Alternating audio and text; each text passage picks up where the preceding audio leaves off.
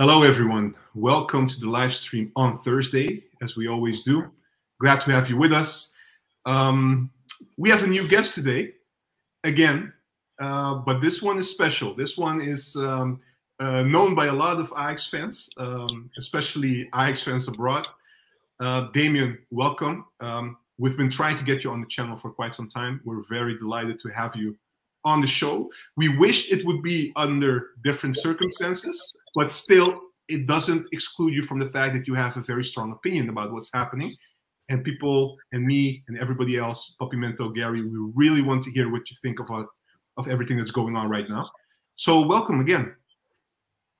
Thank you. Well, thank you for having me on. I really appreciate it. And uh, yeah, it should have been sooner, but you know, life gets in the way.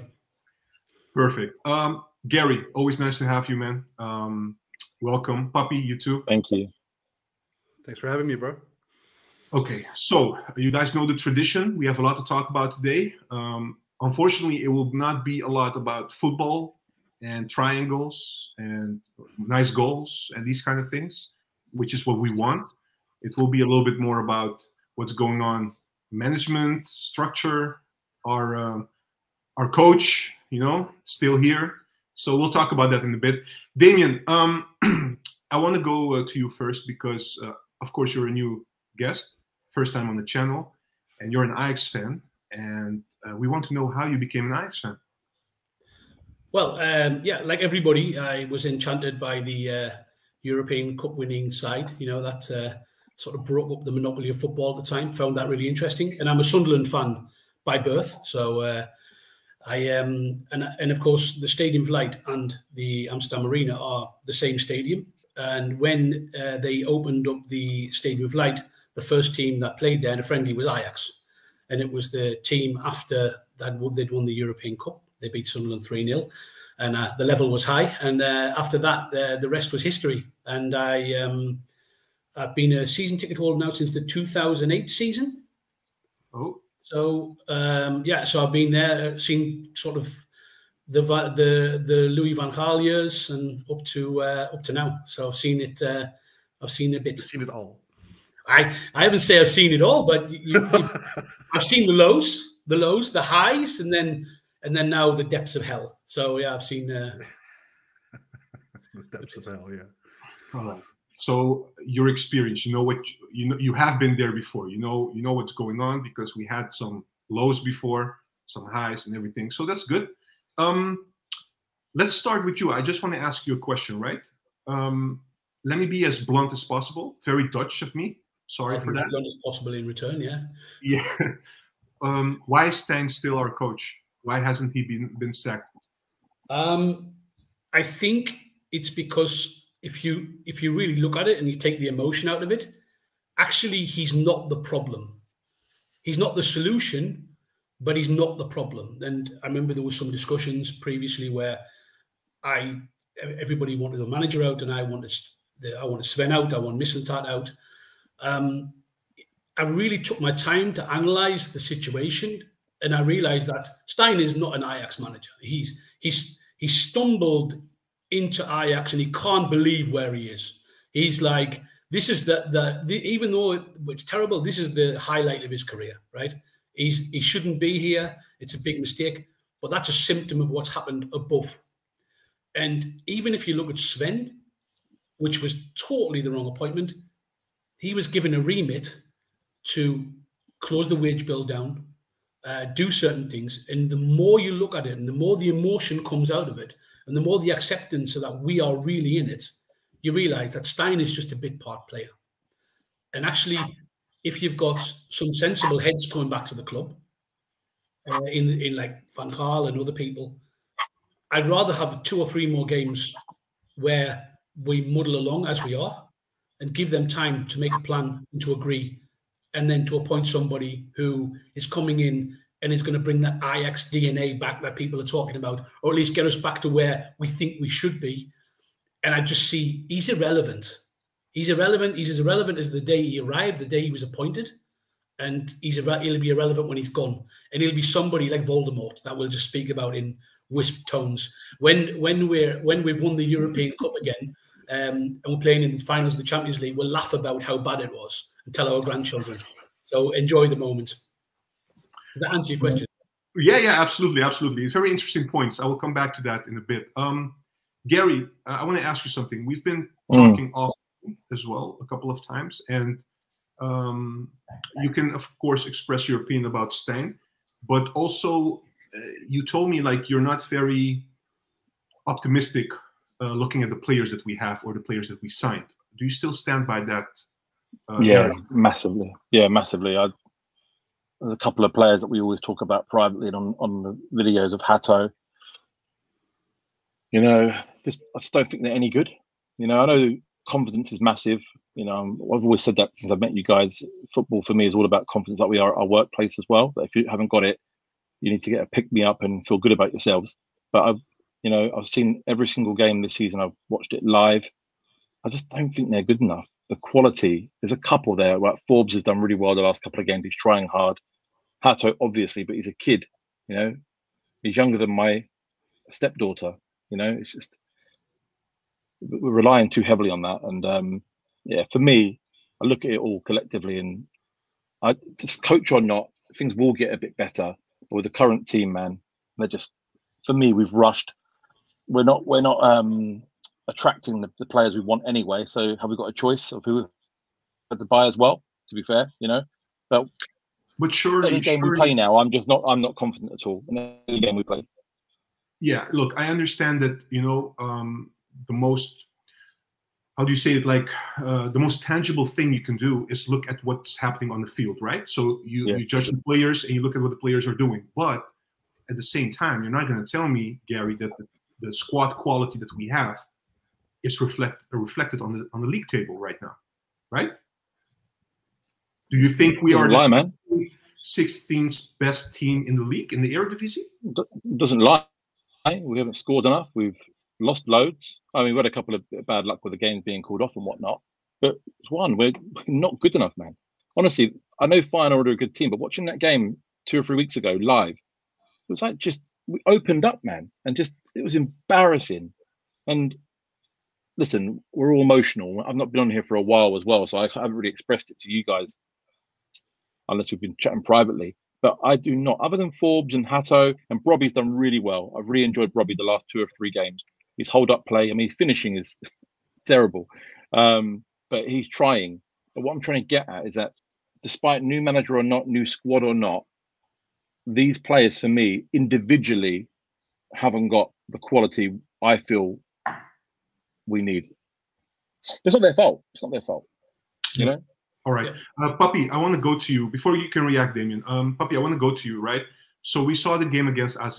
We're not going to talk about the game. I don't want to talk about the game. Let's just forget it. It was a very bad game. But I want to highlight a little bit what happened afterwards with the press conference, especially what Steijn was saying. There were some really interesting post-match comments from him. Um, what did you make of it, of, of certain things that he said? Um, as Damian said, uh, a bad coach, first of all. Uh, second of all, blaming uh, everything and everyone except the real problem, and that's him. Um, uh, you know, Gary is talking about quality, but if you uh, are now what two months in, and I still don't see the hand of uh, of Steijn, nobody got better under Steijn, then you have to question uh, if he's a coach that makes player better or a coach that can structure a team in in in such a terrible situation we are at. Look, any any coach that would come in have would have problems, but not this long, and you would see at least the hand of a coach, the structure he wants to play, the idea.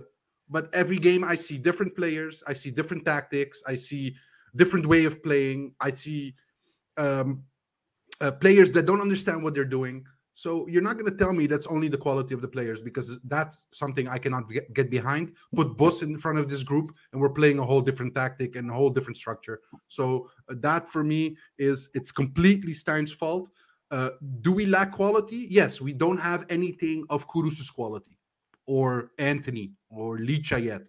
Maybe Sutalo or um, the other players that came in need time to to get in. But the most worrisome thing is all the complaints, Juan, the complaints are about the players that come in. But for me, the biggest problem is the players that were bought last year, and one of them is a captain, and he's not captain material. So he's the one that should um, elevate the level of the team. He's not. And then people are going to tell me, yeah, but he's better as a supporting role. What the hell are we buying a top top buy? The the highest transfer in is him. And then you're talking about sporting role? I'll get the hell out of here. I'm sorry. I cannot I cannot comprehend that. And that makes me pissed because these are the Dutch players we're talking about. These are the the Ajax DNA they want in they don't talk about them. They talk only about what Sven did. But I'm not. I don't think that Sven is only to blame here. All right, um, Damian, uh, Gary, you guys want to react to PapiMento? That was quite a rant, to be honest. I didn't expect. Uh, yeah, I want to. Yeah, I want to make it clear that I'm not blaming just the quality. You know, I'm not a lover of the coach, um, Puppy, at all. You know, Sven, I told you guys in the summer, I watched him at Arsenal and the previous clubs. I wasn't a lover of him. So the whole the whole thing's in disarray from the coach to the players. But I'm talking about even a boss there or even a better better manager. I still feel these players, for me, won't they'll improve obviously, but they're not great quality. That's what yeah. I'm getting at. And then and, and sorry, Damian, I just want to continue what, with this. And then they say, let us focus on youth. But what if in the youth the level is not up to par to make our whole team out of the youth? Then you have to buy.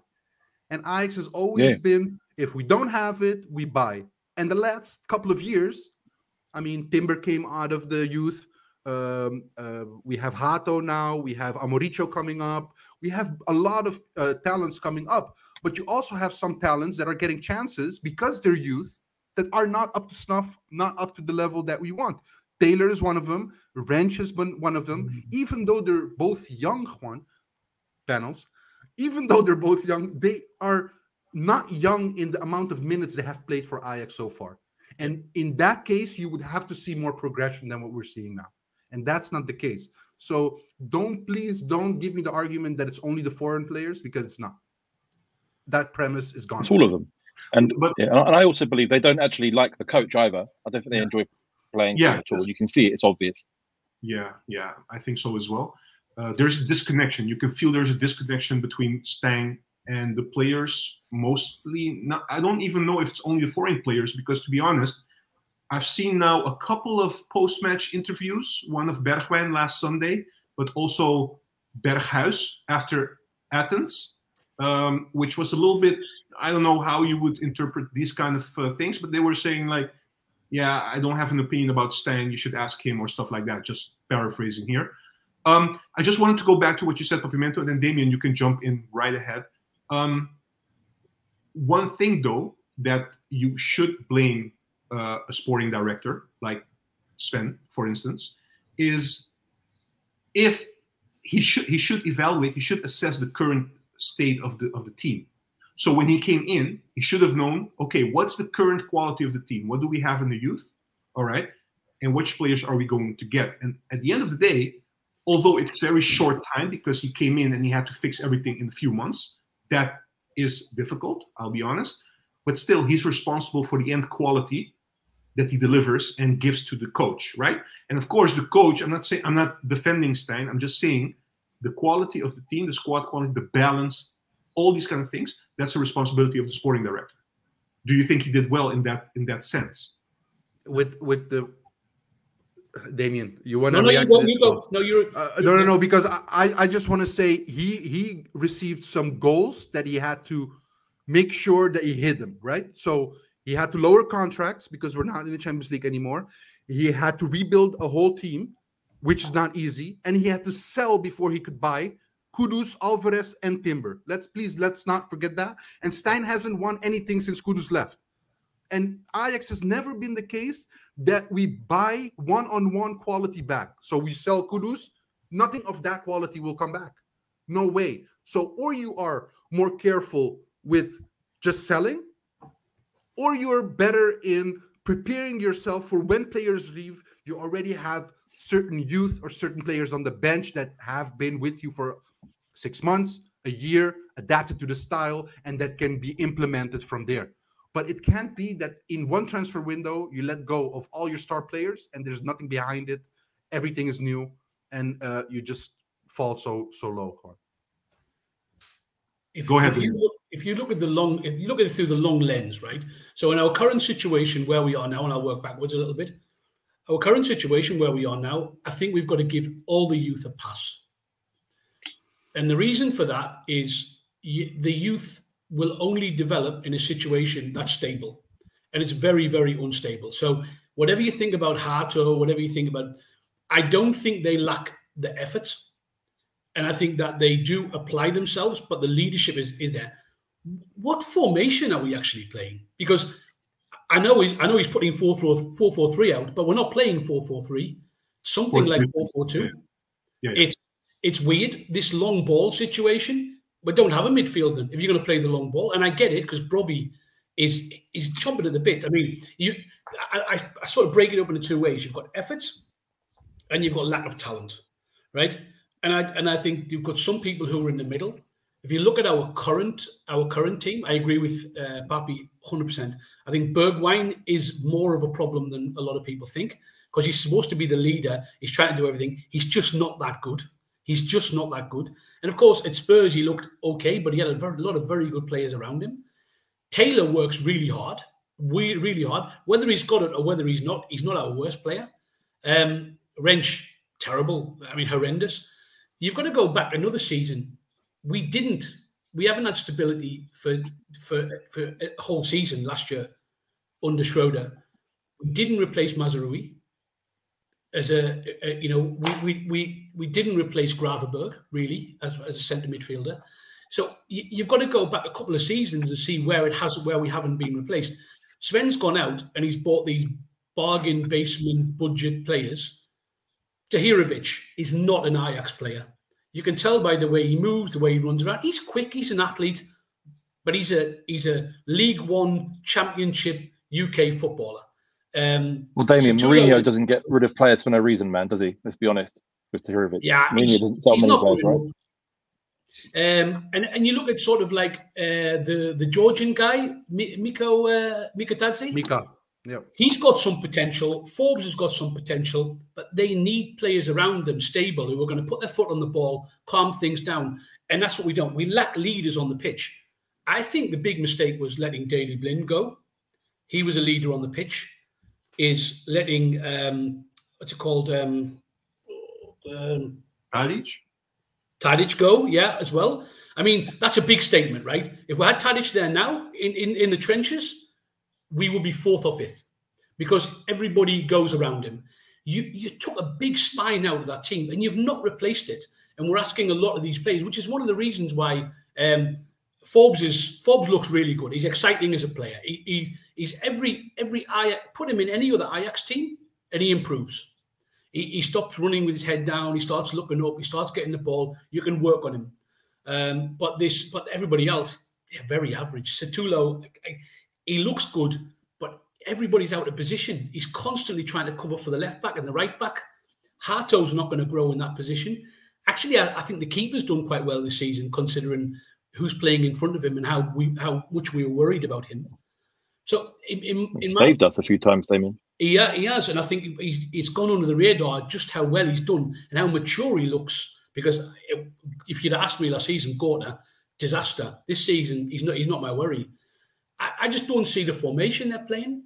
And I think until that is organized and we know how we're playing and what people's roles are, I, I don't think we can answer that question.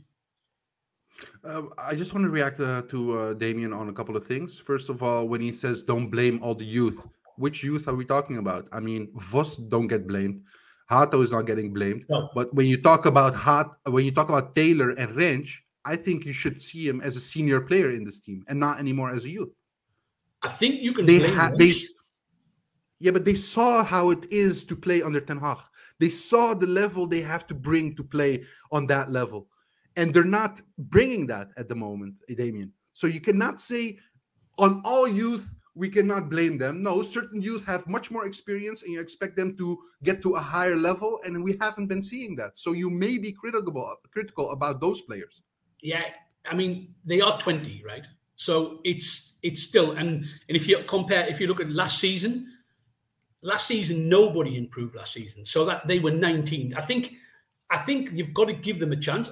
Rensch, I think, is all at sea. He's really all at sea. He looks the worst out of them all. Taylor's really, and also Rensch doesn't look interested. Taylor looks at least interested. Looks like he really cares. Um, so I, I kind of disagree, but respectfully, of course, disagree with you on on that. Yeah, but you, if if you go back to the game of AZ and you check the spaces left behind by Taylor, yeah, you would yeah. talk differently to me. Yeah, right and, and I think offensively or with the ball, Taylor is okay. Without the ball, uh, the last couple of games he's been terrible. But that's the whole team. So you would consider him only as a ten, not as an eight, right? Yeah, I mean, I, I would say, yeah. I mean, I would try the effort. I would put him in different in different position. I would maybe put him right back, left back. Try him. He can tackle. He can run. He's got to be better than what we have at the moment. But yeah, but Damian, awareness how are you gonna how are you gonna put somebody like Taylor in a, in a, in a fullback position uh, while he has difficulty tracking back and doing his defensive duties in the first place? I think he gets distracted because he's trying to win the game. And and to be honest with you, that's what Bergwijn does. I mean, if you look at it, Bergwijn is the guy. He's the, he's the free roaming man. He's everywhere, but he's nowhere, and he's leaving all gaps up front. And we and, and I tell you what, another player we miss as well, Klaassen. The experience of Klaassen coming in. I know you look. I love Klaassen. You guys don't. I don't care because I'm right. No, no, I so, don't.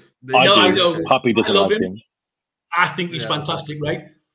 Look, look at the World Cup. He caught, he came on in the World Cup. He, he, knew exactly where to stand. He comes on, he scores, he settles the team down. He's off the ball work is fantastic. He's a really good player. He's a lot better than what we have now. A lot better. We there's nobody. But Damian, sorry, sorry. There's nobody we've brought in, and let me finish this off by saying there's nobody we've brought in who I realistically see as a replacement. Forbs is not a replacement for Tadic. You know, that I, would be interested to see who you guys think is a replacement for who. Nobody oh. coming in is a replacement. What I was going to say, boys, what I was going to say about how I feel about this team and Taylor, the last couple of games has showed some real passion for me. Um, yeah. You know, when he's off the ball, he's getting really angry with himself that it's not going his way. But how I feel about Sven and Tadic and all that lot going, I feel at the moment, bar a couple of players on that team, they all just can't wait to get away from the club. That's how I feel at the moment. You know, they want to run away um, and, and do not want to take any responsibility. That's how I feel about Tadic. I know he did, I know Sven drove him out anyway, but this current crop of you call them, I, I think they. I agree with Puppy. I think we can't class them as youth anymore. Rensch, you know, and Taylor. For me, they're the senior players that should be taking the scruff of the neck. And for me, other than Taylor, the rest of them just want to run away. Okay. I see it a bit different, but okay, that's fine. Um, I, I, just I just want to react quickly, Puppy, before you go. I want to react to Damian. Um, he said something interesting about you know you're you're, you're um, coming back to all these players that meant a lot and were leaders uh, on and off the pitch, like Tadic, Blind, Klaassen. Let me go with those three names. But let's be honest as well. There was criticism about their contribution on the field last year as well. I know it was under Schreuder, but they had poor performances as well. So, and let's be honest as well, all three of them were declining in terms of their output. We have to be honest about that. As much as we love them, as much as they uh, were important for Ajax, they were declining. And I don't think either one of them, to be honest, that's the impression I get. This I, I'm not sure, of course, but I never got the impression that they would accept being more a leader and also sometimes being on the bench. And that's a problem you have to deal with as an Ajax, as a club as well, because they want to play every game. At what time do you cut the cord and you say, now is the time to say goodbye and get somebody else? And when you get somebody else, who should that player be? Like, for instance, an example. I know it's not the best example, but we got Forbs while people are arguing we could have get uh, gotten Noah Lang, for instance. Would that been a better player no. as a replacement for Tadic, for instance? Although the timing was not the same, I know it couldn't uh, be the same um, at the same time because Noah Lang was was basically signed early, uh, and we were a little bit late in the summer to sign somebody, but still. No, and I think to be honest with you, you need that crossover. Look at the De Boer years, right? Because you you sent me the questions earlier on. I was thinking about it a little bit. Yeah. I'll give you one example, right? Christian Poulsen came in. Mm-hmm. Everybody was like, "What's going on?" You know, he came in, and then Poulsen had this effect on the team. He was a bit slow, but he kept the ball. Eriksen learned from Poulsen. Klaassen learned from Eriksen. And there was this ongoing thing that was happening. Players were coming in. You even had a situation where um, I can't remember the, the um, Huntelaar, for example, he was brought back, and a lot of players rubbed off on him. You know, he was in the right situation. Like maybe we used him a little bit more than we should have done uh, to, towards the end. But he was brought in for a reason, and a lot of players looked at Huntelaar and said, "I want to be like him." All of a sudden, we get rid of players, and we've got no one to be there. Out, basically, the leader now is Bergwijn, who isn't good enough and can't even look after himself. And you can you can probably question what's gone wrong with Bergwijn, and this is maybe one of the reasons why I think you've got to be very careful about the character of the player that you bring back. I don't think Davy Klaassen's character is in question, but I do question Bergwijn's character. I do question his I do question whether he's really going to lift everybody up. He's going to be that inspirational leader that, that, that we need.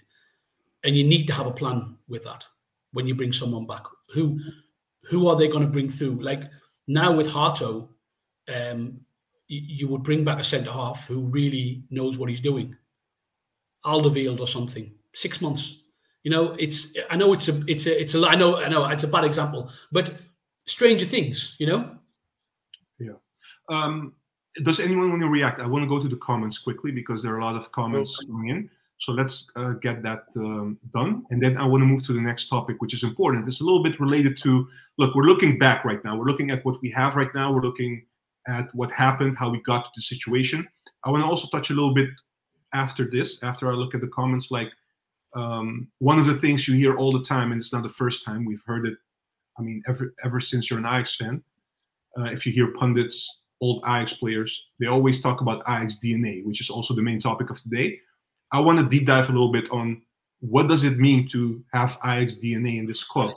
Um, how should we look at it? And also, I want the viewers um, to drop a comment like how they see it and um, do they who do they consider an Ajax DNA? Is Ajax DNA players that are on the field, or is Ajax DNA the people that are in the board, management, etc. And how how do you give them a sticker and say, okay, this is an Ajax DNA person, and this is the type of person we want to lead us in the future, right?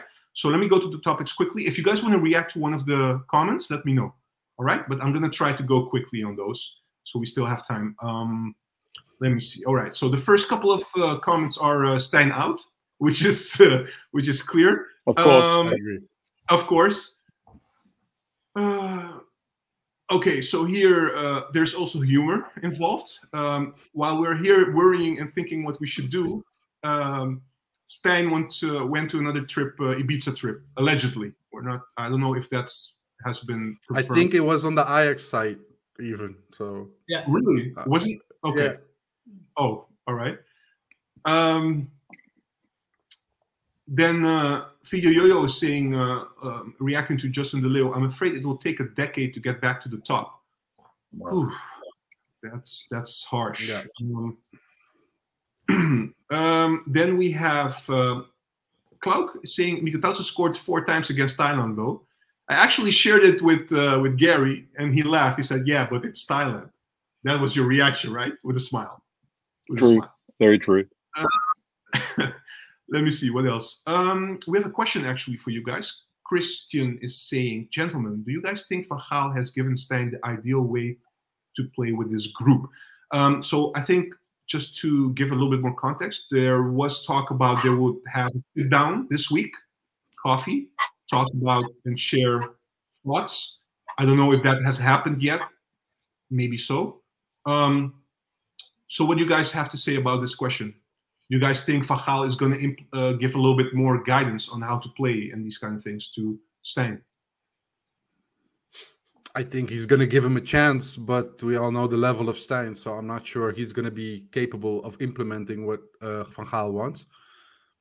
Um, Juan, I think he, Louis Van Gaal is just buying time because I cannot believe that after watching the AZ game, he thinks Steijn has it. I'm sorry, but even he was looking mad, bro, after the after the game. Isn't that his normal expression, to be honest? Or I do don't, I don't know. I never seen him that angry. It's been a while. So uh, yeah, I don't know. I don't know how you can look at Feyenoord and AZ as Van Gaal and think Steijn is a good coach and that he deserves another chance. So for me, I think there's another agenda. They're waiting maybe yeah. for December or something to to find the proper replacement. And um, the problem is also yeah. yeah. the problem is also uh, there was a, there was an article from Algemeen Dagblad uh, right after the game on Sunday, and they basically said that uh, it's unlikely. Let me put it this way: it's unlikely that Steijn will leave uh, and he will be the coach after the international break still. And the reason for that being that there's no uh, there are two reasons, mainly two reasons. First of all, who's going to fire him? That's one. And second of all, who should succeed him? That's two right? The timing is uh, well, on both. Jan van Halst has every right as no, a temporary. No, no, because he doesn't have the power uh, to do so. He's not a normal uh, CEO that has the power to fire somebody. I think, if I'm not mistaken, maybe I can be corrected about this. But also, the other reason is being told is um, Van Halst is also leaving already. He already communicated he's leaving, so he's not going to make a decision uh, uh, like this kind of decision while he's leaving in a few months. You understand what I mean? He should so that, that, was brought as an argument as well. So what's the point of being there then if you're not going to make decisions? I don't That's understand. Yeah. Go ahead, Demi. You wanted to react. No, I, I mean, I think I agree. I think I think uh, Van Gaal's come in and he's looking at it and going, "It's a mess." And I'll go back to it. You, you've got to you've got to have a manager who everybody backs, and unless he's got somebody directly in line for it, I think he would be looking to make one or two appointments. I wouldn't rule out having Overmars back. The problem, the problem with that, uh, because I've heard that a couple of times also on X on Twitter. Um, let's take away what he did and whether it would be a good idea to get him back um, at Ajax. Put that aside for a bit.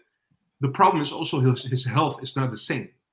Um, that's the thing. His heart condition is not the same as it was. So I don't think it's a. I mean, it's up to him, of course, but I don't think that's feasible uh, to, to do. To be honest. I can imagine driving every day to um, Antwerp or every three days to Antwerp, or you know, driving from Barneveld to to uh, to to the arena is probably to what he knows is probably easier you know, um, people around him. He's done a great job at Antwerp. It just goes to show, like, things haven't gone right since he's he's since he's gone. Uh, it would be, yeah, but yeah, if it's just somebody who looks at the squad and, and writes a plan with Louis Van Gaal, and somebody else then implements it. So actually, yeah, we, won't, we won't see Overmars. Sorry, sorry. No, go I don't think we'll see Overmars back. No, or, or, eh, forget forget the Van der Sars and the Overmars. These, these, days are gone. But what I think I'm seeing and what I'm seeing in the, in the last week or so is what Van Gaal wants to bring back is what we built under the trio of Ten Hag, Van der Sar, um, and Overmars, and that type of feel good factor. That's what I think. And the talk of today was um, Blind as well coming back as well. You know, that, that's what I think they want to do is bring those, that trio of Ajax DNA, which we're, we're leading to, and that feel good factor back into the club. But I don't, in the current climate we live in, Overmars, forget it. Not just health reasons, but for what happened to him, what in, in the world climate we live in now, he's not coming back. But I think Van Gaal wants to and bring back also the type of leadership we had. Ajax also a traded company, right? Can they just yeah. make that decision when something like this happened? I, am not sure. It's a more, it's a bit more yeah, sensitive, I, I would assume. Yeah. So yeah, yeah, yeah. Um, but that's that's my thought. And I think they're going to try and bring back what the trio we had with new people, with the existing past of Ajax, and try and bring back the first thing. Got win the fans back. Let's be honest, we're so disconnected from our club as well at the moment, and um, that's where I think we're heading with Van Gaal. I think he'll stay a bit longer than he says. So yeah, uh, well, yes. Um, it, so what would happen with a publicly traded club? It wouldn't necessarily be about uh, bringing him back, they would only have to um, uh, alert the stock market when they change the structure. So, for example, if they're recruiting for the role, it wouldn't really matter. I mean, he he, he quit, but he wasn't fired. So no, the thing is, the thing is, Damian. Sorry to interrupt you. The thing is, it will also have, an, uh, it might it might have a negative effect on the stakeholders as well. So we're not talking about only football related matters. We're talking about sponsors. We're talking about all these kind of things you're running a risk in that area uh, as well. So it's much bigger, like Gary alluded to. It's much bigger than just getting him back and just talking about football and these kind of things. And, and the woman affected might still work at Ajax. Might not be such a great situation to be in. I, I would rather have Overmars back um, and the sponsors crying than be 16th. So it's just my, uh, you know, controversial, but, you know, um, well, I mean, but I do, I do think they're going to look at leadership positions before they look at the manager. So I can think we can expect him to be there for two weeks. He's gone on holiday, know he's going to get sacked in two weeks' time. There's no coming back from this for him. We are we are going to talk about the the you know like um, the leadership, Gaal, Blind, all these things that we discussed. We'll come back to that, and we're going to connect it a little bit with the Ajax DNA. Just let me finish the comments quickly. Um, so I had uh, Siwan is saying, uh, um, if we Steijn, who should get into uh, into this uh, mess basically to fix it? So we'll talk about that maybe as well. Uh, Angelo, uh, I agree with Gary. Need some experienced players to come in to help build and support players and give confidence to the team. Uh, and Angelo is also saying uh, good evening to Damian. Good evening, Angelo. Uh, Justin is um, also saying my opinion, as outlandish as it is. I would like to see Hansi Flick given the role. He has a champion's uh, pedigree, and truthfully, him being unemployed gives Ajax a real chance to say they are serious. All right. People are already starting to think ahead, right, about who's gonna succeed uh, Steijn. Uh, but he's not Uh, Dutch, though. I'm sorry. But he's not Dutch. Yeah, we'll come to that uh, maybe with the Ajax DNA as well. Um, yeah, so Gamble Studios doesn't fully agree in the sense that the new players, according to him, are worse than Bergwijn uh, because they're foreigners. Foreigners. Uh, oh, so he's actually saying what you're saying. Sorry, I misinterpreted that sentence. So basically, he's saying what Papi was saying. Sorry. All right. Thanks, Gamble Studios. Um, Clark is saying Papi's right. We don't need a passive captain right now. Uh, people are saying agree, agree, Papi, agree completely. Um, scrolling down. Sorry? Everyone loves Papi. Everybody Everyone loves loves Papi. Angelo saying strong leadership uh, needed. It, it um, yeah, somebody who would come and uh, lead this team. Absolutely. And also somebody thanking you. Too bad, Sven. Damien, thanks for giving love to Klaassen. Underestimated player indeed. All right. Klaassen He should be there now, and he should be there now and captain for this year, in my opinion. I know, Papi, don't look at me, but he should have stayed and been captain for this season. Simple as that. No, no, I disagree. And if you want to have the discussion, I will start right now. Oh, no. No, no, no. Let's not. Let's move no, on. no. So No, because ju- just this one, just this one. Klaassen is also much better in a structured team. This team is not structured. He will not be the guy that will structure this team.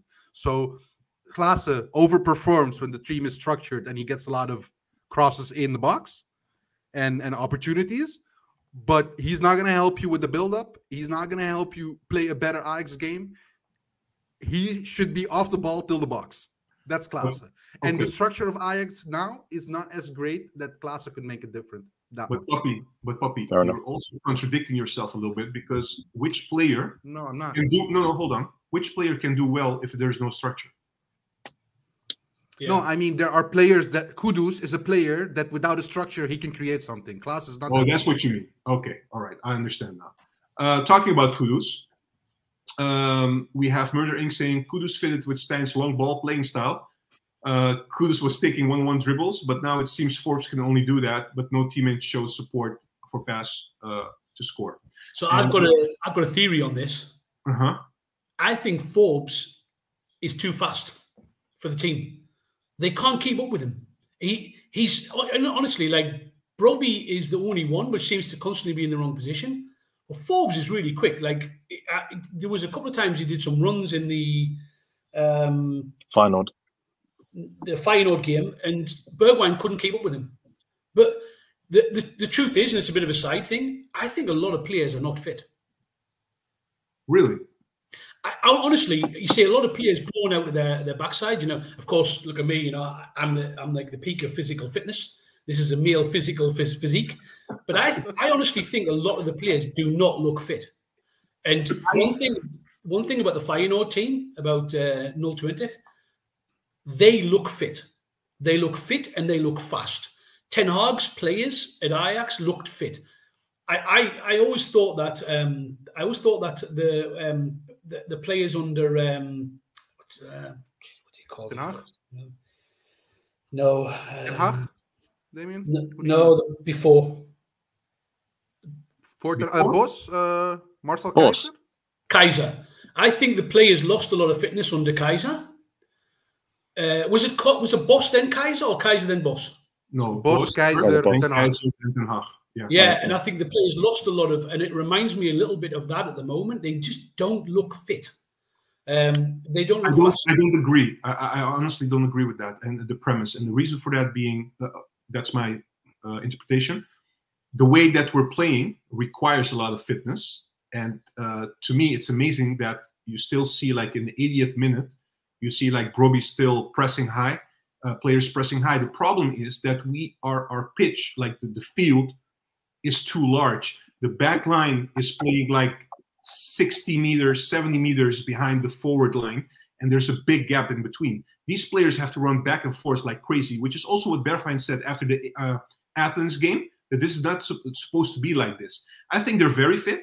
I think they're just drowning because of the playing style and the la- lack of Spaces. structure. And not only that, Yeah. Yeah, you're right. You're right. even Steijn, even Steijn, after the match against AZ, was complementing the spirit of the group because Bergwijn tracked in the 89th minute to defend the ball uh, against AZ. So I don't think it's fitness, to be honest, but that's my opinion. Well, they look. They, I, I well, agree with maybe in the system they don't look fit, but I, I, I don't know. They to me they look fitter under Ten Hag. It's because of the gaps, Damian. That's all it is. You know, one minute we're up that side of the pitch, and the next, you know, the, we've got counter attacked, and with the centre by themselves, and a big gap in the middle, so we look slow. But again, it's for me. And we had and we had that players tactic. that could hold the ball, Damian. We had Yeah. players under Ten Hag that could hold the ball. You know, Tadic, Antony, uh, Mazraoui, uh, Blind. Uh, you know, nobody in this team can hold the ball as comfortably. They always lose it in uh, bad Yeah. places on the pitch. That's going to make your play and the way the team plays uh, totally different than what you expect. I would say, I would every say- goal that every goal that final. Sorry, sorry. No, no, go ahead. Go ahead. Go ahead, Gary. No, that's what he's right. Every, every goal that final scored was like that. We lost the ball, bang, goal, instant. Yeah. Every goal. I would say Brobbey is capable of Yeah. holding the ball, but not if you send him a high ball or a long ball. You have to send him like Feet. you have to pass it through. You know, that's the difference. Okay, let me go to the comments, guys, because we're running a little bit out of time. Um, so I had uh, Ogyam saying, since Kudus and Al- Alvarez left, things have never been the same. Yeah, all right. Um, Gamble Studios reacting to Ajax DNA. That's like regressing hairline. All right, that's an interesting take. Uh, people are already reacting a little bit to the Ajax DNA. Uh, Angela saying Ajax DNA surely is a style of play and philosophy that's missing at the moment, fully committed and a free flowing style. Yeah, so that's a good bridge uh, to start with. Mm, let me see. Uh, Christian is saying, in my honest opinion, we had the ideal trainer already with Michael Reiziger. I know people will say he doesn't have enough experience, but Van Gaal and de Boer didn't have that as well when they started. Can I Uh, react to that? If, if you go for Reiziger, why not just stay with Heitinga? That's my question to Christian. Sorry? If you want Reiziger as uh, the next one, why not just stay with Heitinga?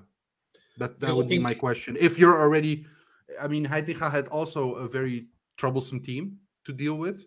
Why not give him an, another chance for the transfer window and then a season? If you're I talking about Reiziger in that sense. Reiziger had more of a, a kind of a, he had a lot of success with the youth, right? Didn't he? He- Yeah, he he became champions with Bogarde. True. Yeah, had a lot of success with the youth, and also he was around Ten Hag. He was coaching around, and I don't, I can't remember how long had he been coaching the first team with Ten Hag the whole time, or Yeah, the whole time I think. I, I, I think Yeah. it would have been more continuity. It was surprising how Bogarde and Reiziger left. Reiziger seems like a like players liked him, a, a kind of character, and you would have expected that to come from uh, the guy who's there at the moment. Um, what's he called? The the the football the guy he brought in, uh, Maduro. Uh, You would expect that Maduro would have filled that. You don't know whether he did. You don't know what his coaching style is like. But Mhm. I, I, I don't disagree. I think I think Reiziger will be a much better than now, and maybe Bogarde till the end of the season. Yeah. All right. I have to move on, guys. Sorry. Go, Um, go, go.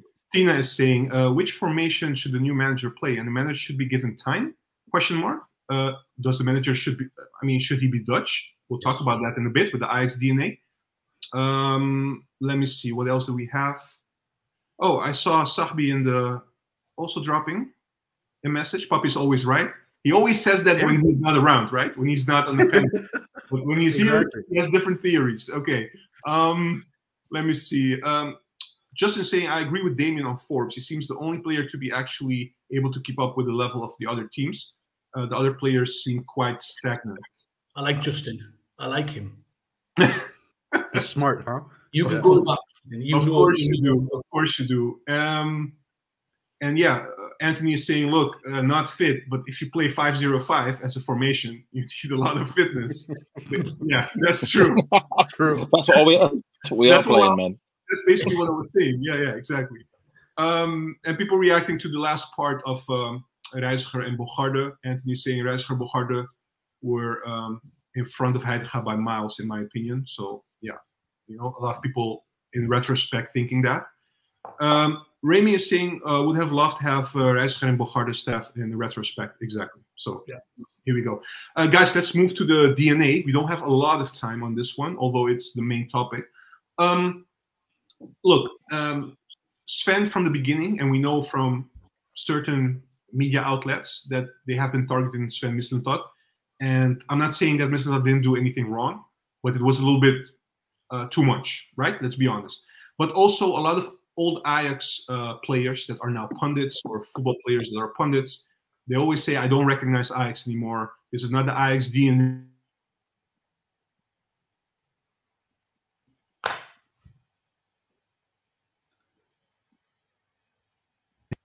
Sorry, I got unplugged. I don't know why. Can you guys hear me now? Yeah. Yes. Yeah, sorry. again. Man, Go ahead. So I was thinking this week, right, about the Ajax DNA, and I was thinking, okay, but what is it? Everybody talks about it, but what do we think of, of it in general? What should it be? Are we talking about Ajax DNA in terms of players on the field? Are we talking about Ajax DNA as a culture that ha- that has to be in the club, and who should be those kind of people that do that? Um, so I want your opinion briefly from all three of you. Like, how do you see it? Like when people talk about Ajax DNA, how important is it according to you? And what's your uh, thoughts about that in general, on and off the pitch? So what I said, like maybe players, you look more at players, or you look at more like no, it, it has to be also the positions that are filled in, like maybe the Bayern Munich model, you know, like they have old players, which Cruyff always advocated for to do it like that, and that's why we went with Overmars and Van der Sar. Let me start with uh, with Papimento. Well, back in the day, I always thought Ajax DNA was if you're from youth. Oh, you don't hear me? You don't hear me? Yeah. Yeah, yeah. Could you guys hear me, by the way? I don't hear you guys. Can Yeah, you yeah. guys hear Yeah, me? yeah, I hear you. Okay. I don't hear Papimento. Then there's something wrong with you, man. I don't But hear anyway, you. I don't hear you. I can hear you. I can hear Papi. Yeah. But, uh, Gary, Damian, can you talk? yeah, yeah. Can you hear me? I don't hear Yeah, I'm you. all here, man. Okay. Yeah. Okay, I'm, I'm just gonna continue while Juan. Can the Yeah. people in the comments let me know who they hear? Do they hear me or do they hear Papimento or Gary or Damian? Can you hear me? Hello, hello, hello. Hello, hello, hello. Coming from Hoofddorp. Loud and clear. Everyone. One got one said Uh, mute and right, I unmute cannot everybody. hear anyone. For that. Godfrey. Okay, so they can Yeah. hear everyone. Yeah.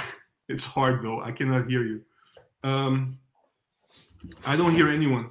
I just hear myself now. It's like an Uh, echo okay, chamber. hold on, hold on, hold on. This is weird. Okay, I'll host. Um, so Papi, let me go out. on? Let me go out. I'll be back. I- I'll, I'll leave and come back. Okay. I'll Just a host. moment. while Sure, you're go ahead. Papi, you wanna, uh, you wanna go ahead? Yeah, I, I just wanted to say that back in the day, I always thought um, that the DNA was part of players that played for Ajax. Um, so you would have to be brought up from the youth academy, played with the Ajax one, and then you would be considered Ajax DNA. But that has changed for me a little bit. Uh, Juan, you're back. You hear us? Yes, perfect. Sorry. Okay, Sorry. Very good.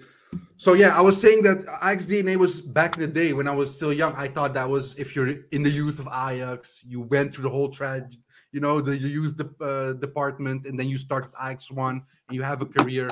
From there on, you could say Ajax DNA, but it, it became a more uh, loosely uh, an, um, term for me. I think uh, if you look at, for instance, you have to look at several uh, levels within a structure a company. Um, so if you look at the coach, I think Ajax DNA should be the philosophy, the uh, the play, um, how you want to uh, attack, how the possession-based game. That should be your experience. That should be how you want to play.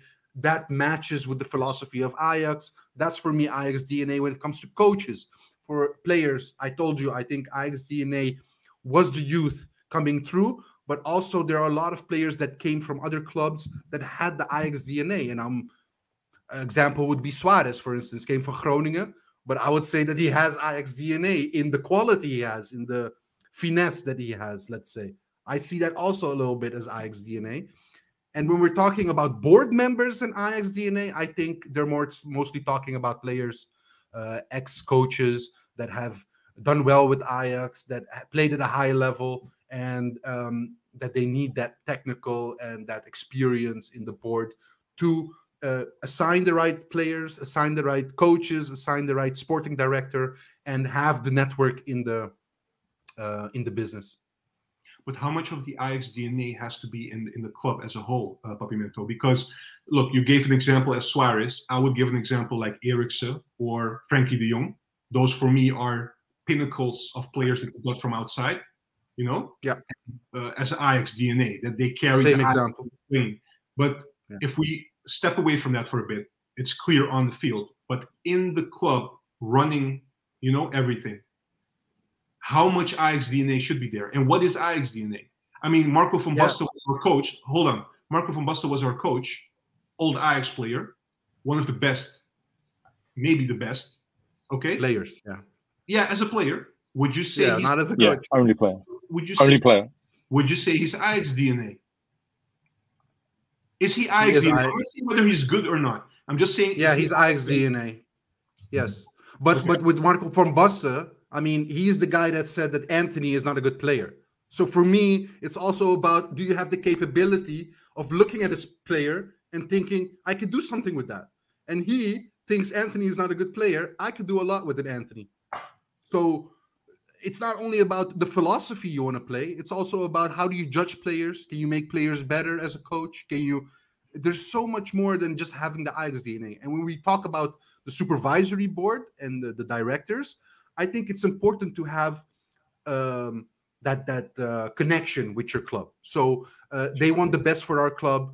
Uh, it's always been like this when we restructure. It's always xix that has to come in to fix us because the people that are there uh, are mostly bookkeepers that don't understand football, so they're making all the right decisions, uh, all the wrong decisions. But if you look at it, we had seven years ago a Cruyff that had to come in to, uh, or was it ten years ago? I'm sorry, Cruyff that had to come in to restructure our whole uh, club. Then ten years further, we have one high, and um, that's it. They they cannot reproduce it. Uh, our structure is not what it was, and we have to ask another old guard, ex DNA, ex DNA to come back to fix it.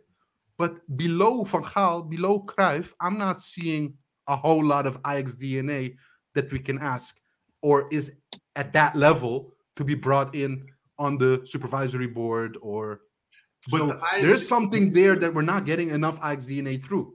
But we have Ajax DNA in the sense that just quickly, we have the Ajax DNA like Van der Vaart, Sneijder, um, who else? Those those type of old players. Would you would you give them the sticker? Those are Ajax DNA because just to be clear, No. I'm not talking about quality. I'm talking about what is Ajax DNA. It doesn't As have a, as a the same. As a player, yes, uh, Juan, I see them as Ajax DNA. As the philosophy and how they think about football, uh, I've seen them talk on uh, on the channels, and most of the time, sixty percent of the time, it's a whole different philosophy than I think they should be playing. So, I don't agree totally, but they have played on the highest level. Their experience would always be a benefit for the people that never played football or never watched football are just there uh, for the numbers and the budgeting and things like that. They okay, need advice about, from hold experts. On, hold, on. hold on, but what about if he's not an old Ajax player, but he's very good in his whether he's a coach, a sporting director, uh, a CEO, or would you still go yes. for him? And Hag is a perfect example of not being an Ajax DNA before yeah. being hired and uh, but he did have the experience his philosophy his attacking way of playing and he made us i mean one of the best footballs i've seen 18 19 yeah, but, so yeah but again everything about that connects well with the Ajax philosophy. So in that sense, yes, he does have the Ajax DNA. Maurice Steijn, on the other hand, low block defense, doesn't know how to attack, 0.0 yeah. uh, xG per game that's not the Ajax way. That's not the Ajax philosophy.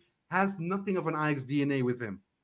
Okay, but just to uh, just to summarize before I go to Damian quickly, you're saying Ajax DNA is also carrying out the mission, the vision of Ajax, the way, the identity of Ajax. Let me put it this way, right? Exactly. Okay, but it, it doesn't have to be. But it doesn't have to be somebody that played for Ajax necessarily. Although you need those as well to to um, sustain the culture of Ajax. Yeah. That's what you're saying. Hundred percent, hundred percent. But we also know the examples, Juan, of Ajax DNA and uh, their thoughts not aligning. Look at uh, Wim Jonk and Bergkamp that get in a fight and then leave. I mean, these things, you know, you have to come to a compromise. It can't always be as so much Ajax DNA comes in. They have to find a middle ground because you're not going to find one on one, everybody agreeing with each other. That's never going to happen. All right. Uh, thanks, uh, Papi. Uh, Damian, go ahead. Yeah. So for me, it's all about Ajax DNA is the plan. It's how you interpret what you're going to do. And I think there's a couple of things.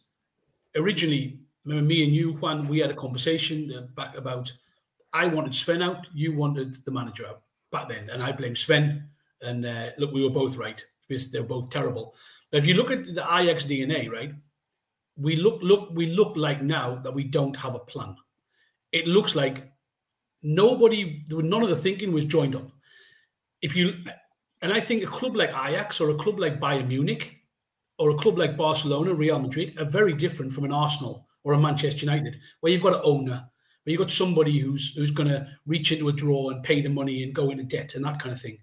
So it's a different business culture. Sven was at, was at Arsenal when he came in, uh, before he came in, and he came into Ajax and he didn't understand the complexities of where the power was, where the influence was, and he had a, a, a free reign. And in my opinion, that's where it went wrong. It was power unchecked, and uh, and we will probably. And somebody said it's ten years till we get back at the top. Maybe five, maybe ten, but power unchecked will be the reason why that happens.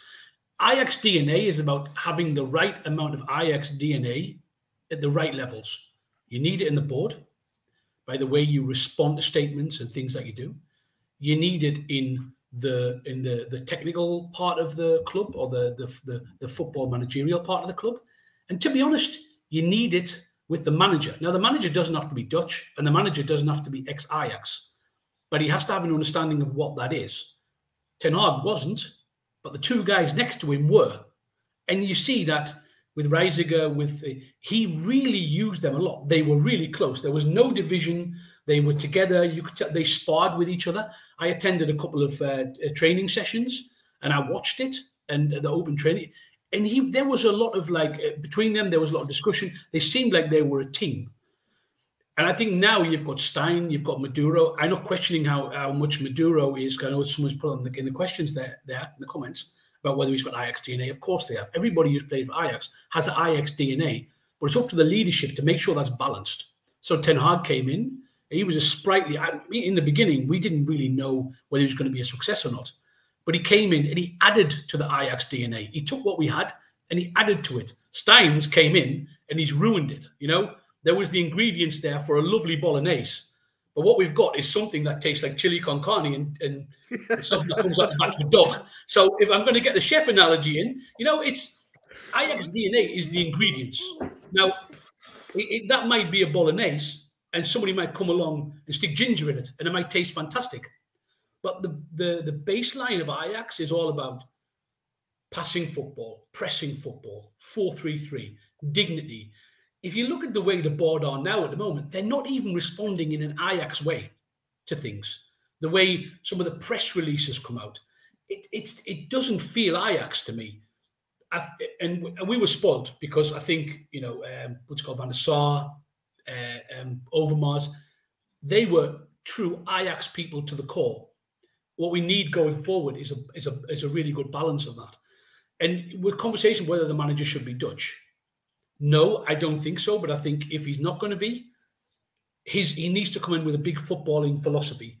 And if if Sven had managed to go for the the guy out of Scandinavia, um, maybe it's, it's a different story. Knudsen. Knudsen, yeah, but maybe it's a different story because to me he looks like an like Ajax DNA. He looks like he's got something there, and maybe he comes in and maybe, but he probably wouldn't have had any of these players because he would he would have thought there. Personally, going forward, I think um, Steijn was a yes man for Sven.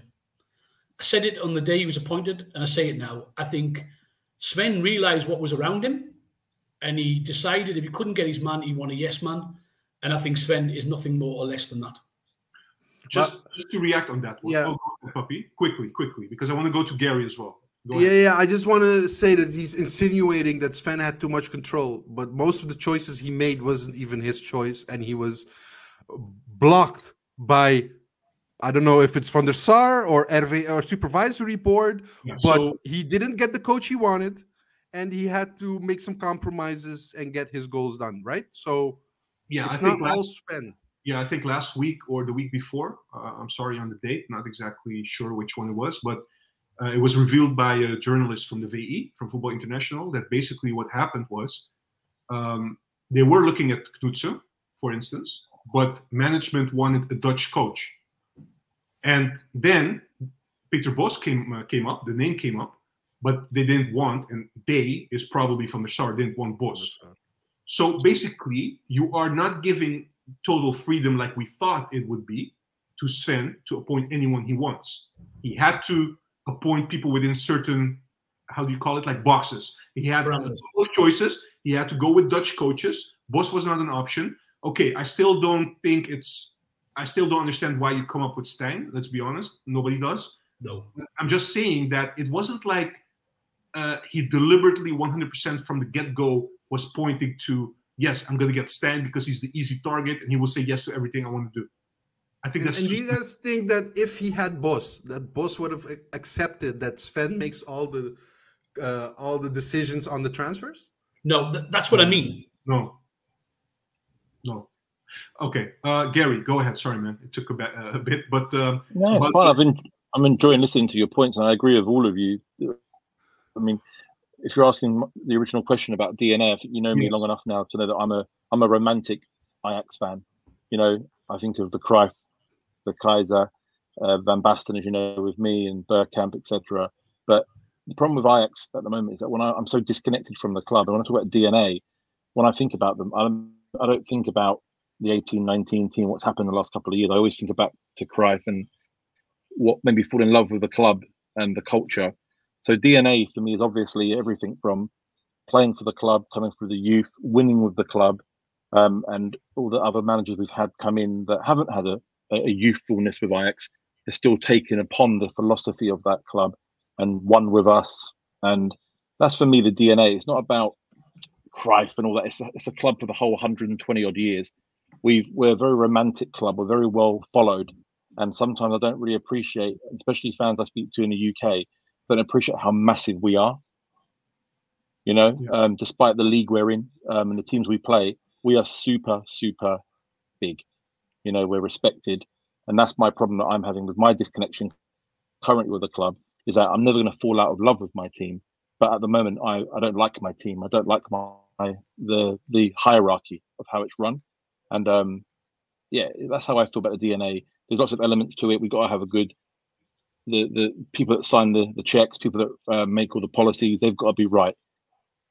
But I don't agree with ex players being that high up. My opinion, you know, they're players for a reason, and they don't always make great CEOs and and great people of decision makers.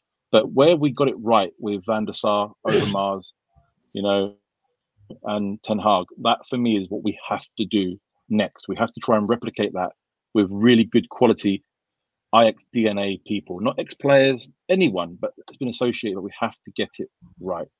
And um, yeah, the way I see it, also for me, I yeah, yeah. Go ahead, Gary. Sorry, go ahead.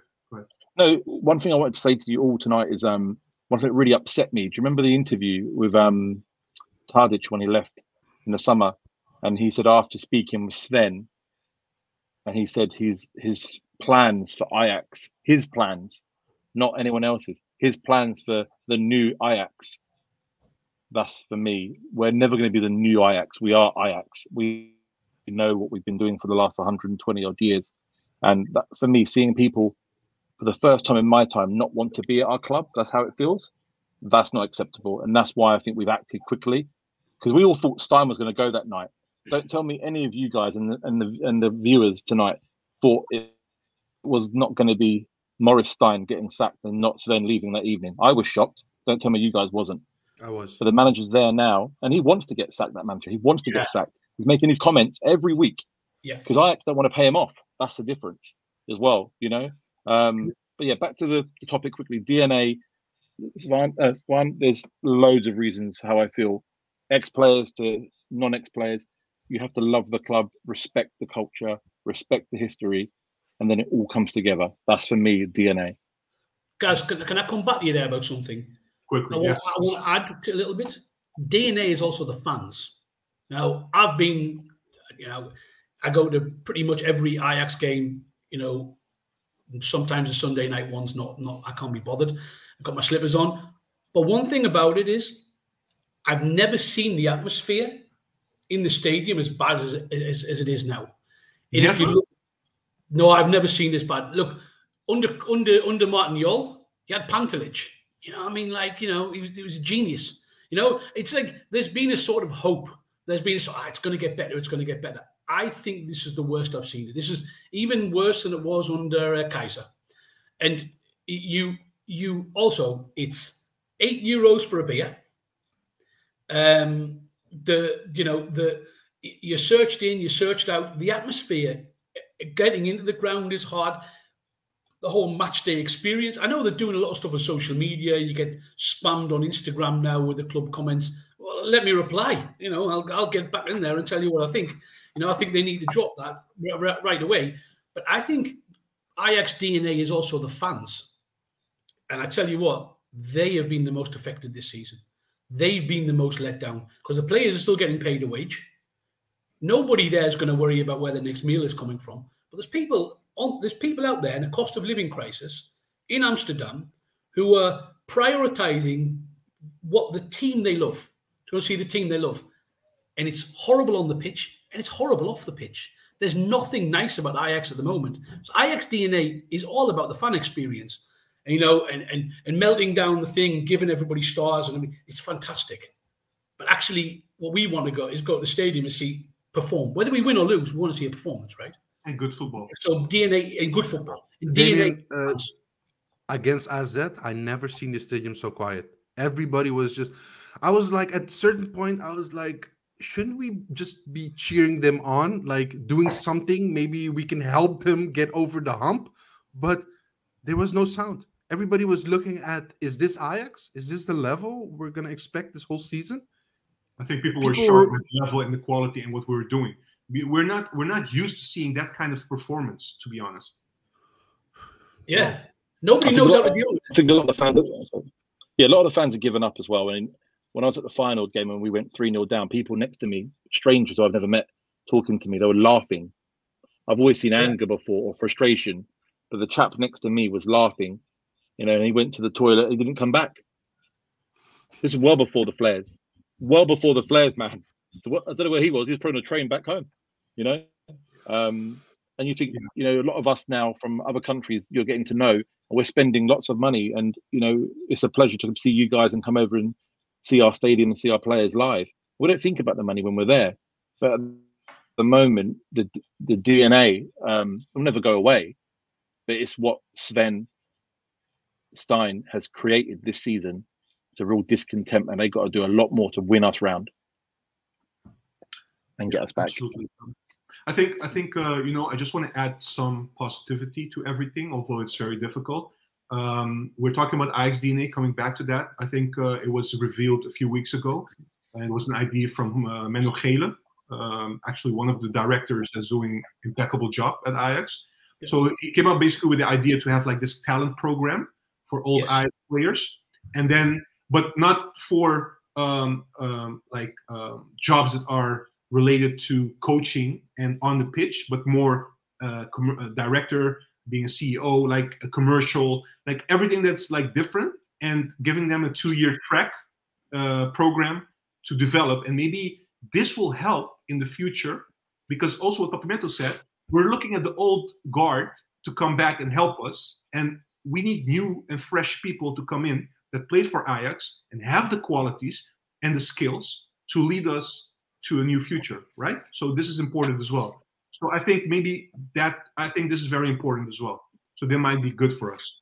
Um, So it would be actually uh, not the same tra- tragic as uh, what Van der Sar did to become a CEO, basically, something like that. possibility, yeah, it's a possibility. But Was Siem de Jong? Who, who was de Jong, uh, Ricardo van Rhijn, um, what's the guy's name? I forgot the other one. The the the winger that we Yeah. used to have. I forgot I his name. Sorry, Daniel?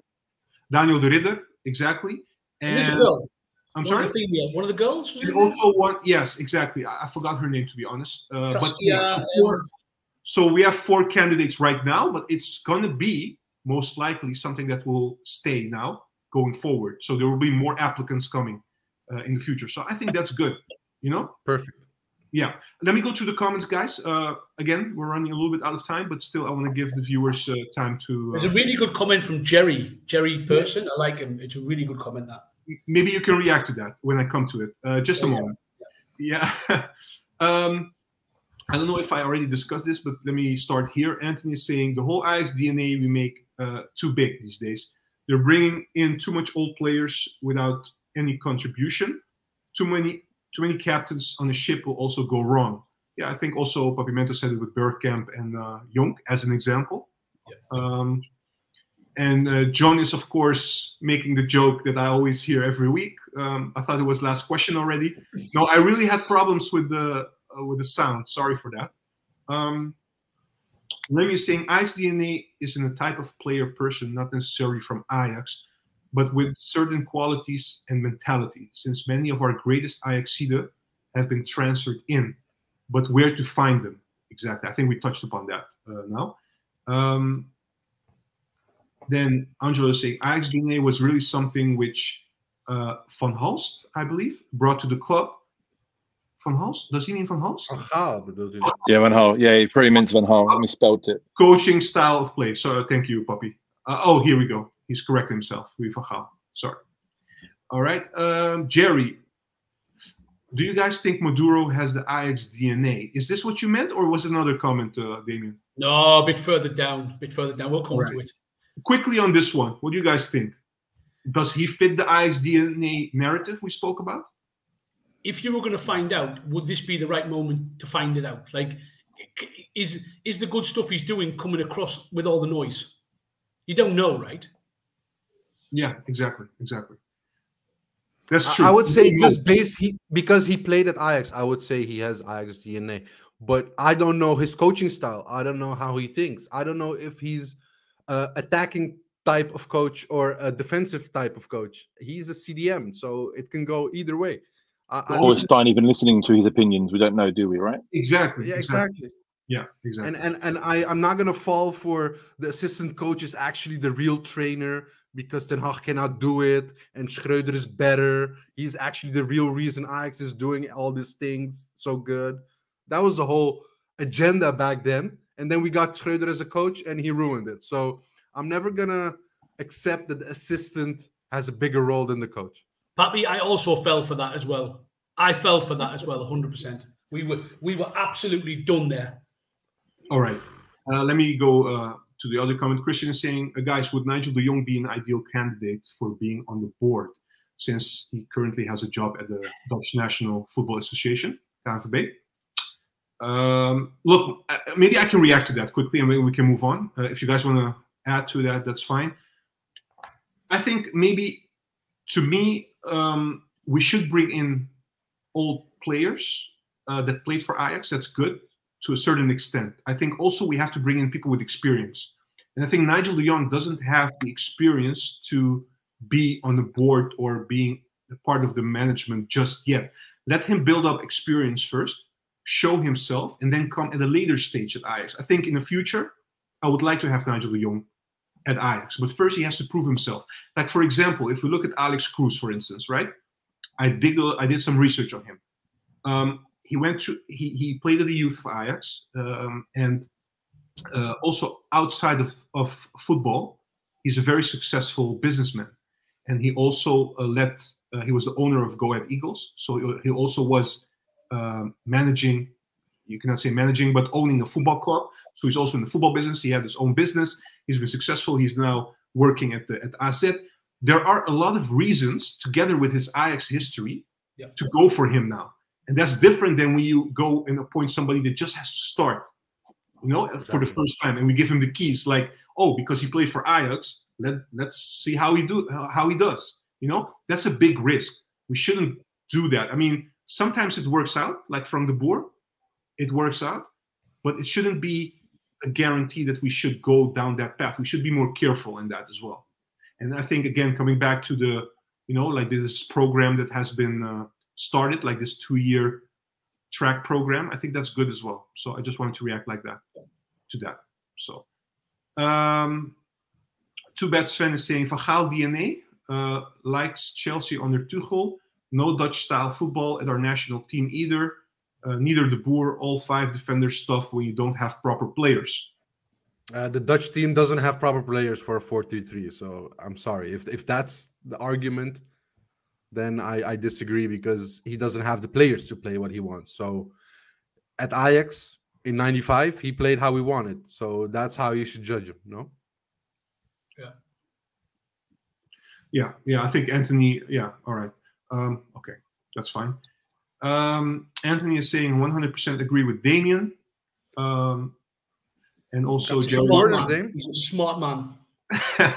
Jerry is saying the fans have no connection with this team. So basically, what you said as well, uh, Damian. Um, Clive, uh, thank you for your comment. Uh, how can we expect Stan to turn this around when almost the whole squad was bought in by the person who Stan himself ratted out? These players will never give their 100% to Stan.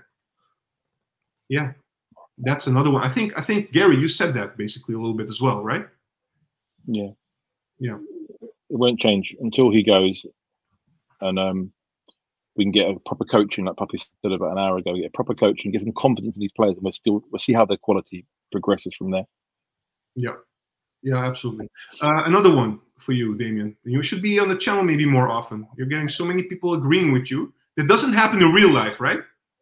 It, it, it, honestly, I walk around, people just like wave at me and go, yeah, you're just, people who read my mind, it's unbelievable. Yeah. Oh man. These comments All right. cost him 200 euros tonight, Juan. yeah, it's cost me a fortune. uh, Len is saying, Papi, uh, you seem a bit high in your emotion, man. You're not letting other panel members finish their sentence. oh wow, oh wow. They, but you are emotional. Let me finish. You can you can confirm that, right? That you're a bit emotional lately. I am. If if you're an Ajax fan, you should be very emotional in the period we are in. Yeah, I am. Yeah, I yeah, am. exactly. Um, uh, here we go. People are already a fan. Angela, Angela is saying, Damian, when are you hosting your own show? I think it was the You take I can take- I can go on vacation. You come here. I'll I'll take some time off.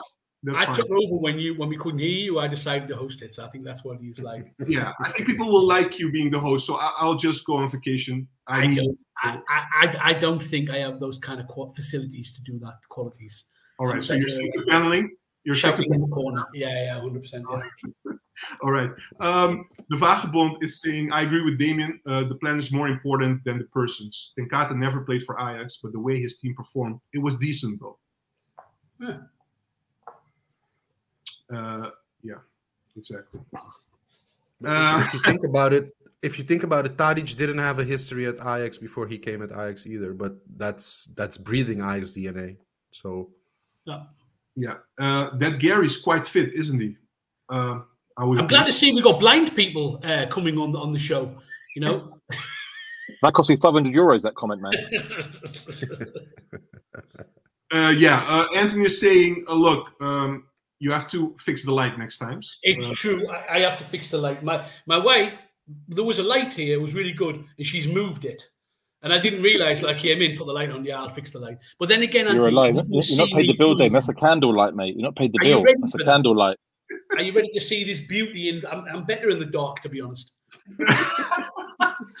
um, guys, just to wrap up, I think I, I, I went through all the comments. Look, Hey, you're what- seeing. Go Juan, ahead. Yeah. It's Mr. Tika said KKD incoming. What the hell is the club thinking? KKD? Uh, Uh, that's- Championship for us in the. In the, in Oh, the- sorry. I, I was thinking. I was d- an, an acronym for somebody coming in. Oh, yeah, yeah, yeah, yeah, yeah. Yeah, I wanted to pull it up as as a last one. Um, the thing is, you know, we talked about a lot today, and um, I just want to end, and maybe you guys can react to that as, as a final. Um, you are seeing, since Van Gaal became external advisor, you are seeing things happening right now, right? So we heard about Van het Schip. Uh, by the way, condolences to his wife his wife, yeah. yeah, very sad news. Um, so he's going to be. We don't know exactly in what shape or form he's going to, you know, be involved. It's not crystallized yet, but let's see what happens. Um, Danny Blind, like Gary said already today, apparently coming back for the for the supervisory board. Um, Jan Beukers, uh, very interesting name, by the way. Um, we want to talk more about him today, but we run out of time. Maybe we'll do it next time. But also very interesting. Um, you know, he Van Gaal is looking at the organization, at the structure, and he's trying to focus on that, which I think is very good. The only thing I'm worried about uh, is like, are we also going to look at the short term? Because this season is also very important for us in many ways, financially, but also uh, player development, uh, youth players developing, etc. All these kind of things is very important. So I don't know. Just want to ask you guys and also the people in the comment, like, how do you guys feel about um, what's going to happen in terms of uh, Steijn being the coach? Uh, who's going to take over? Are we going with an interim solution? What's your feeling? What's your guts telling you right now in the coming weeks? Because we haven't talked about it, but we're we're playing uh, PSV and Bright Utrecht, Brighton, PSV in that order. And Utrecht always becomes prime Barcelona when they play play, play us. So Oh. you know, It's a bottom of the table clash, man. I'm sorry. It's a Bottom of the bottom table clash in a couple of weeks, man. Relegation six pointer. Exactly. It's actually very sad to say that. Um, What do you guys What do you guys think will happen? Uh, just Well- just I mean, it's Well- difficult. But what do you think? Juan, in the beginning of the season, we had a conversation, and I said third, and you were like, "What? What?" And I, I just, you know, I was saying I just didn't see us, and that wasn't me being sarcastic. I just didn't think, based on the changes that were around and what needed to happen, players that we'd signed, that we were better than than 020 and 010. We, you know, uh, sorry, 010 and what, what's the what's the what's um postcode of uh, um PSV? PSV? I don't know. What do you mean? Uh, before before him, before Bosz. no, the area code. The area Yeah. code of uh, Brabant. Yeah, whatever. Anyway, I didn't think we were better than them. You look at them; it's it's obvious that their their their setup was better than us. Their momentum was better than us. Bosz going in, you knew he was going to do this. He's a good manager. You know, and Pele's probably listening. He probably disagrees, but I, I think he was. I think we wouldn't be in that situation we are now. I said third. I don't think we've got a hope in hell of catching those guys now. I think third, we would be very, very lucky. I, I think we've got to focus on uh, stabilizing the team, pleasing the fans, and yeah, you know, we're going to have to budget for a season out of European football. In in, in my opinion, Second season in a row. yeah. Well, even out of we, Champions we League, might not even get into the into the Europa League. The way it's, Uh, it, it looks, the way it looks, it's going to be uh, it's going to be very difficult. Um, look, Well, I'm uh, gonna keep it really quick. by I, I think we're going for an interim solution soon because I, I just don't think Yeah. Steijn will survive. So interim solution till Kroes gets assigned. That's my personal feeling, and then maybe he will um, Agreed. he, he he will get that team going. Put a duo that he can work with, that has synergy, that can get us back But till Give me a then, name. I think I heard- this I heard- over. Yeah, I heard just just before you give a name, I heard one of the viewers that we have made a comment uh, last week. Uh, I think it was Steve. Correct me if I'm wrong. Sorry, Steve, if it's not true. Uh, I'm getting older. My memory sometimes doesn't uh, uh, go with me. But um, he said, like, why are we uh, why are we talking about interim in the first place? It's still early in the season. Why don't we just hire somebody? What do you guys have to say about that? Permanently, so not an interim solution.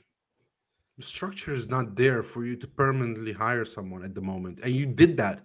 It's Schreuder, it's Heitinga, and now it's another coach that you're going to fire in a year and a half. Yeah. So maybe that requires somebody else to make the decision and not a supervisory board that has nothing to do with the football aspect of things. Maybe it should be Kroes that makes those decisions because he understands what is required of uh, both um, profile of job Well, so at Ajax. I, I, I think you've got to you've got to on the other side in this situation. If we want somebody really good, who's going to come? Because that's another thing, right? Like you know, there's a lot of jobs out there. There's not a lot of great managers out there. So an interim solution would paint a picture, and they can go and look for candidates in the right. I would rather they did an interim solution.